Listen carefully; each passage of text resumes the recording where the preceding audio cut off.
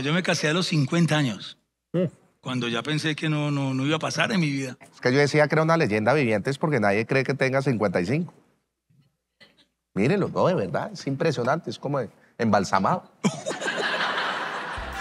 En qué lo O sea, soy una momia, pues. ¿En qué se remoja? Sí, va a ser el nuevo Amparo Grisales después.